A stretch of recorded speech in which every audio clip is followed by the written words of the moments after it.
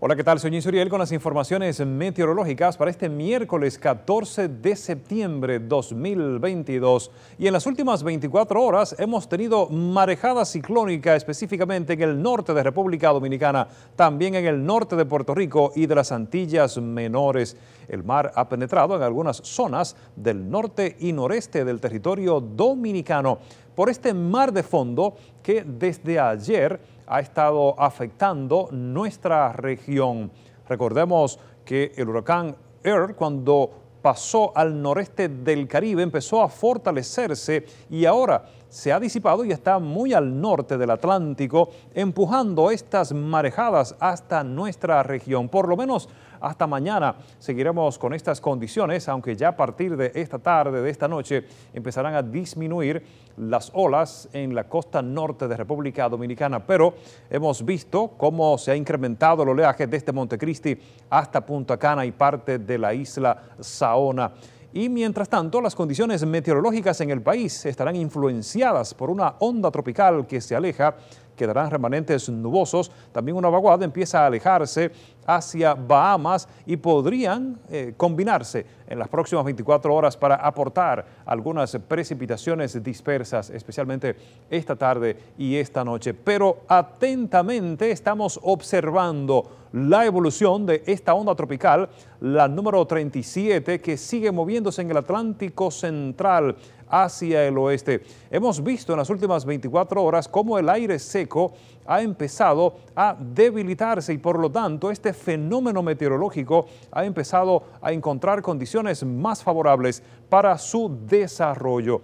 La onda tropical está siendo acompañada de un sistema de baja presión y por lo tanto al moverse hacia el oeste en aguas muy cálidas podría empezar a mostrar señales de desarrollo y podría ser una depresión tropical durante los próximos días. Así que vamos a vigilar la evolución de este fenómeno atmosférico. Se espera que para el viernes se acerque a las Antillas menores y hay otra onda tropical al este del Atlántico que está siendo vigilada por la posibilidad de que también pueda desarrollarse como una depresión tropical. Vamos a ver el pronóstico que está presentando para República Dominicana, específicamente para el transcurso de la mañana. El cielo parcialmente nublado en sentido general, no se descartan algunos chubascos hacia el noreste del país y algunas localidades del este. Después del mediodía, las condiciones meteorológicas estarán dominadas por los remanentes de la onda tropical. Podrían aumentar los aguaceros hacia el noreste, también hacia el este del país y algunas localidades del sureste. Para el resto de República Dominicana tendremos el cielo parcialmente nublado. Al final de la tarde, las condiciones meteorológicas se tornarán más favorables para que ocurran algunos aguaceros hacia el sureste del país, incluyendo la capital dominicana.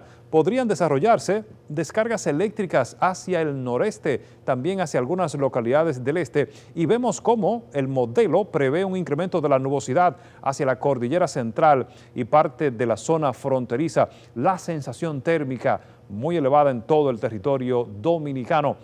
Y para la noche tendremos en las condiciones meteorológicas la continuación de esta nubosidad concentrada específicamente en el sureste, noreste, parte de la región del Cibao Oriental, así también hacia el norte podrían ocurrir algunos chubascos y hacia la cordillera central estos nublados podrían aportar lluvias dispersas. Para mañana veamos las condiciones del tiempo, ya que no tendremos precipitaciones de importancia. Hay un sistema de alta presión que va a establecerse en la región del Atlántico para dominar las condiciones del tiempo en la región del Caribe. Es por eso que veremos el cielo parcialmente nublado con escasos chubascos hacia la cordillera central. Y vamos a finalizar con las informaciones astronómicas para hoy el sol con su salida a las 6 y 27 de la mañana y su puesta a las 6 y 43 de la tarde con 12 horas y 16 minutos de luz solar. Está amaneciendo cada vez más tarde y está atardeciendo cada vez más temprano. La luna con su salida a las 9 y 51 de esta noche y la puesta mañana a las 11 y 9 de la mañana está en fase menguante con 78% de su superficie visible iluminada. La temperatura para Santo Domingo de 32 grados y la sensación térmica de 38 grados con un contenido de humedad de un 71%. Estas han sido las informaciones.